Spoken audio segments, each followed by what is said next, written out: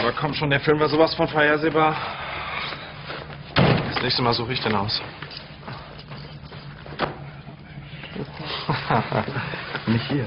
Warum nicht hier? Judith ist doch beschäftigt. Sorry.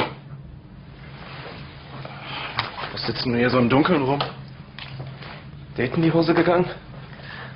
Voll.